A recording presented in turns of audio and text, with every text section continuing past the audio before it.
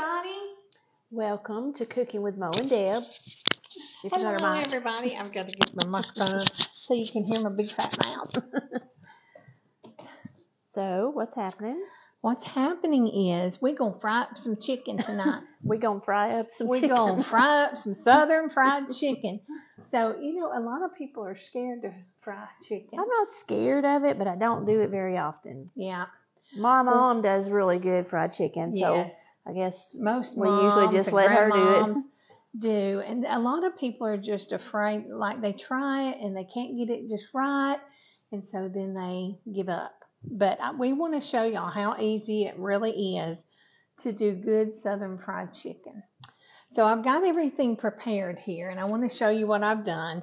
I've got about a cup of flour, just all purpose flour. I put salt and pepper in it and a little bit of this seasoning because I like a little flavor in mine. This is urban onion. You can use whatever seasoning you want. If you want to use seasoned salt or whatever yeah. or you can just use salt and pepper, either one. And then over here, I've got one egg and about a half a cup of uh, milk. So that a lot of people dip their chicken in milk and then they dip it in egg and then you know. So I'm like, let's just cut out the middle man and just put it in one dish and just have to mess up one. So um, I've got my chicken cut up in kind of small pieces, and this is boneless, skinless.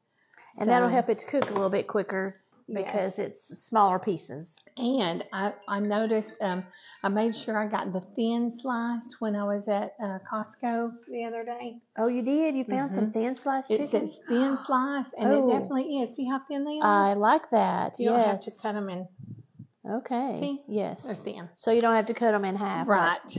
So the first thing I'm going to go ahead and do is turn on my skillet and I'm going to turn it on high.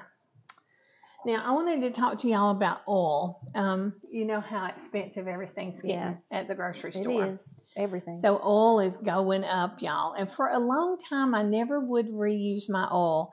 If I fried some potatoes or something like that, I would just pour out my oil. Now, the old folks back in the day, they always kept their oil and they used it and used it and used it until it got, you know, really. Got Mom would have a bowl. Uh, every time we had bacon or any things like that with grease, Mhm. we just added it to that bowl on Yes. the stove, and it Right. stayed there. right. And then when we're she's going to fry something else, Mhm. dip from that. Yes. And you strain it with your little strainer, and, and it's fine to use it again. So, this is some oil that I had uh, used to fry some potatoes in the other night. And so, I'm just going to pour it in here. This looks like about a cup, doesn't it, Deb? And you kind of want your, don't you? You tell me. You want more oil in this in your pan when you're frying chicken because you you want it Yeah. to kind of You do. close up, uh, envelop the chicken. You want the chicken to sit do. down in it. Um, I'm going to add just a little more oil to it. Deb, talk Well. amongst yourselves. We forgot to wear our aprons today. but uh, I have made fr- uh, fried chicken, but it's not something that I regularly do. So I'm very excited to see how Moe makes her fried chicken. yeah. Ain't nothing special to it, I tell you that. I think it's one of those things that the more you do, the better you get at it. Um, you just practice Right. makes you makes it better. So I'm going to Um, let my oil get hot here. But meanwhile, we're going to go ahead. I'm going to go ahead and dip my chicken. Dip my chicken. so I'm in dipping egg. it first in the egg mixture and kind of letting it drip. Then I'm going to dip it in my flour. Do you have a special way of knowing when your oil is ready? um, you can see it kind of bubbling up. Kind of bubbling. you know, and um, and try not to put your chicken in there before the oil is good and hot. Yeah, you need because to it'll let your make pan your get warmed chicken up. a little bit greasy. So that's what we're going to do first. We're going to go ahead and put our egg batter on, and then we're going to dredge in flour. And I like a lot of flour on mine. I so do. It makes a lot of crust, yes, we it? like that crust. You know, we don't have skin on this chicken, um, but we're going to have lots of crust. Just like Kentucky anyway. Fried Chicken. I love their crunchy, the crunchy chicken. Y'all have Yes. Kentucky Fried Chicken? I haven't eaten there in forever either. Yes. Um, they have I good fried it. chicken. We actually ate there. My granddaughter Did- loves Kentucky Fried she? Chicken. Yes, we asked her where she wanted to go. She was with me, Mom, and Papa, and she said Kentucky Fried Chicken. So that's where we went. Uh huh. And I, I like the white meat the I do too. I- I'm not a big dark meat I'm person. not either at all. Many people are though, and they love Yeah, a chicken lot thighs. of people or, are. so I'm sure you could, if you do like the um, dark meats, you could do chicken thighs the same Mhm. way. Yep. Uh, you could even use um, chicken with bones. That's usually what we had. What mom would Right. make was and that's what we always had too. We Yeah. never had boneless Uh-uh, anything. uh-uh. You know, everything had the bone in it. we we would um you know our plate the she'd fry fry up all the chicken. There'd be a Mhm. couple of large chicken breasts, some Yeah. thighs, wings, Yeah, and the chicken legs. breasts back then were not large. no, they, they were weren't giant like what we have. they were small, but boy, But- we we loved that. We didn't usually get those. Us kids No, they- had to get the legs. That's what I was about to say. Wings, you know. Yeah, I was about to say exactly that. Us kids would get the Yes. wings and the Yes. legs, which that's okay. I didn't mind. Yeah, I it. didn't mind it having either. It was all good, leg. you know? Oh yeah. I think that's ready, Deb. If you want to take these tongs and just start These placing those I've got re- these tongs, just start placing those I've got ready. Oh yeah. It's uh. Sizzling. It's so sizzling, let's so put it's it around ready. the edge, Deb, because we got a lot of chicken to p- pile in that pan. Okay. it heated up pretty quick, didn't it? Yeah, I've got my, I've got the, it's got Excuse an me. outer ring on my stove, and I've Oh. got that outer ring turned on, so it'll Gotcha. get hot quicker. Gotcha. We can turn it off here in a minute. Yeah, this is going to be so good. It is going to be good. And so when you're done with it, you can either, you know, fix you some side um, sides to go with it, some cream potatoes, and maybe some white gravy and biscuits. Oh, That'd yeah. be good. Really good. Be fattening, but it'd be good. But a lot of times we like to cut it up and um, and do uh, salads with fried Mm. chicken Yeah, tenders fried on chicken it. Chicken salads. Yeah.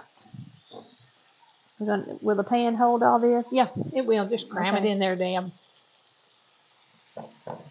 And this is a messy job. It is a messy I job. think that's always another reason I don't make it or the try it as often because it is a little bit messy. But you know what? It can be cleaned up. Mhm. That's not a big deal. It can definitely be cleaned up. Now, are we going to leave this for a certain amount of time or? Okay, so what we're going to do, Moe's Wash going to up. wash her hands and get this yuck off.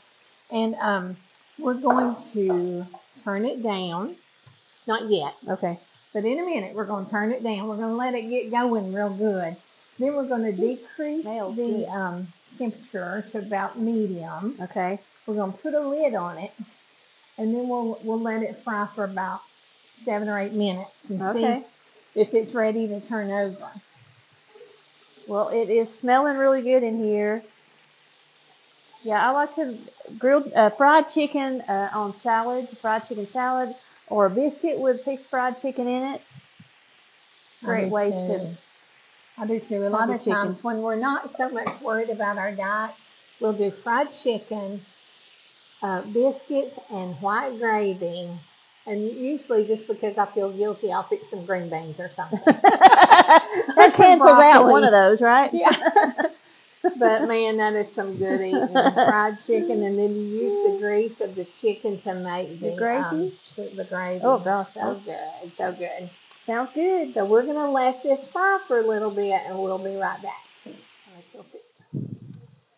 Okay, guys, our chicken is ready to be turned over. Look how pretty that's frying up. Oh, that does look great. At got a little color. brown in the middle. That's okay. They look good to me. The color looks great. So, how many minutes was this? That was only long. about five minutes. Yeah. But you know what? I had I had that. I forgot to turn off that outer ring, so Oh. it got a little bit hotter than I normally get it. But it's good. It's all good. It looks yummy. Yes, it does. So we just-? We just gotta let it get brown. So we're gonna. I've turned it down. I've turned that outer ring off, so it won't. it won't cook so fast. It's better to cook it slower. That way, you know your insides are getting good and done. You don't want your outside to get all done and then your inside still Right. be raw. No. So that's never a good thing. No. So we'll be back in a few minutes and show you the final product. We'll be right back. Okay, my fried chicken loving friends, it's done. It is ready to take up. It's got a beautiful brown color on it. Here, here you go. And I've got a plate with some paper towels doubled in it to drain this grease because we don't want it swimming in grease when we eat it. No. It But look looks how pretty, y'all. I don't know if you can see that good. It's pretty. plate over there. The um the egg mixture helps that flour to stay on there really good. So how long did did they cook after you flipped them? Was it been ten Um, minutes maybe? Well, I did turn it down a little more, and then I'll just let them cook a little slower. So it's probably been ten minutes, I think. Here's a good close up view of that beautifully browned fried, chicken. Mm mm mm. That looks so great. Mm-hmm. We're gonna We're be- gonna let it cool off a minute, and then we're gonna do a taste test. Be right back.